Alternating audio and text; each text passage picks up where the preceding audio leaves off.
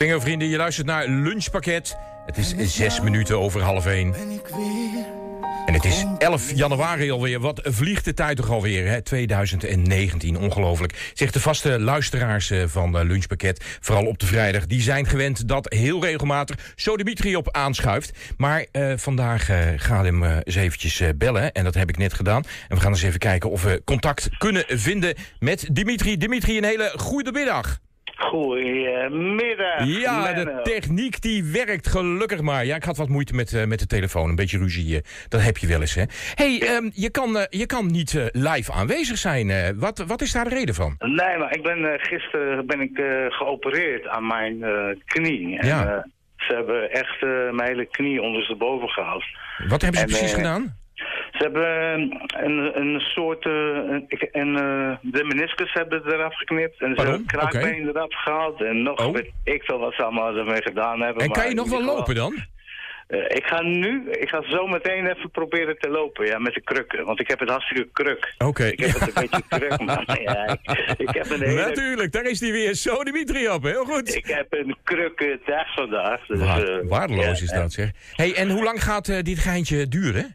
Ja, ik denk dat, het, dat ik wel eventjes zoet ben, eventjes een maandje zo. Maar ja, ik kan wel, eh, ik moet revalideren en even kijken hoe dat allemaal eh, verder verloopt. Ja. Maar ehm, mijn eh, voetbalcarrière, die heb ik vooral wel gezegd. Ja, die de wil gegaan in die voetbalschoenen. Hè? Ja, dat leek me, Ja, ja. dat leek me ook beter ook. Ja. Hey, en, maar dat betekent dat eh, 2019 niet echt helemaal geweldig voor jou is begonnen. Zeker niet omdat ook nog jouw oma is overleden, hè? Ja, mijn oma is overleden. Ja, nou, het begon hartstikke mooi. 1 januari kreeg van RTV Utrecht kreeg ik een heel mooi eh, e-mail dat mijn eh, videoclip op Ja. de televisie uitgezonden zal worden. Van keer op keer, hè? Ja. Ja. En dat was mooi, maar ik was in Griekenland om, eh, op bezoek bij mijn zieke oma. Ja. En eh, nou, de dag dat ik eh, vertrok, eh, is ze overleden. Ach, ja. Dus dat heeft heel veel pijn en verdriet. eh. Dat snap ik. Gecondoleerd, eh, Dimitri. Ehm, en en eh, hoe oud is oma geworden? Eh, in de 90 jaar. Ze is Oké. negen- 88 jaar geworden. Bijna, 88. bijna 90 jaar geworden, Ja, 88 jaar. Nou, dan, dan mag ik hopen dat oma een wel een heel erg mooi leven heeft gehad. En ze is in ieder geval heel oud geworden. Daar, teken- zeker, daar ja. tekenen wij toch met z'n allen voor, dacht ik zo, hè? Ja, precies. Ja, het Ja. leven, hè, dat is het leven. Ik heb eh, ooit een keer iets eh, over, het, over het leven en de dood geschreven. Ja. En mag ik dat even vertellen? Natuurlijk, ja hoor. Het is heel kort. The floor en is yours. Het is heel kort en heel erg krachtig. En dat, dat is wat ik geschreven heb. Dus in de zin des levens is het laatste woord dood. Ja, dat is ook zo, hè? Ja, precies, ja. Ja. Het, het moest even binnenkomen bij me. Maar Ja. hij is wel weer heel erg mooi. Dankjewel, man. Ja, Thanks. hartstikke mooi. hey, ehm, jij gaat eh, eh, rustig aandoen. Jij moet rustig aandoen.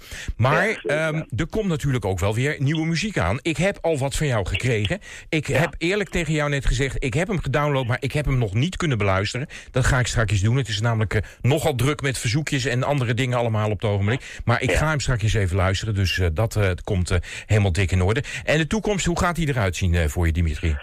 Ja, ik heb eh, nu een nieuw nummer eh, in, eh, zeg maar, geschreven. Samen met mijn medeschrijver. Ja. En, ja, en ik, eh, er komen twee nummers uit eh, binnenkort. Eén Griekse nummer en één Nederlands nummer. Dat, dat Dus, Griekse eh, nummer gaan wij dan maar aan de kant leggen. Maar dat Nederlandse nummer, daar zijn Ja, wij altijd in geïnteresseerd. Hè, dat weet je. Hé, hey, maar even, Menno. Ja. Als ik een half Griekse en een half Nederlandse nummer ga maken...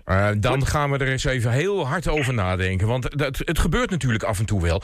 Er zijn Ja, Liefs heeft natuurlijk samen met onder andere Paul de Leeuw... maar ook nog met andere mensen een, een half Frans en een half Nederlands eh, nummer eh, opgenomen. En heel, heel, heel af en toe komt dat er wel eens een keertje voorbij. Dus als er een paar Griekse woorden in zitten of een paar Griekse zinnetjes... dan Ah, moet dat niet zo'n probleem zijn. Maar het moet natuurlijk wel gewoon grotendeels te verstaan zijn, dacht ik. Oké, dan doe ik eh, drie kwart eh, Grieks en eh, voor de rest doe ik het Nederlands. Ja, ik ik geloof niet dat we er dan helemaal uitkomen, maar dat zien we dan vanzelf allemaal wel. Hey Dimitri, ik wens jou heel erg veel sterkte. En toi toi toi. En ik hoop wel. dat je knieën heel snel het weer doet. En dat je hier weer de trap op kan komen om naar, naar de studio te komen. Oké man, hartelijk bedankt. Ik Super. wens je nog een hele mooie dag man. Oké, mooi weekend. Bye bye. En wij gaan bye. verder met Bob Offenberg.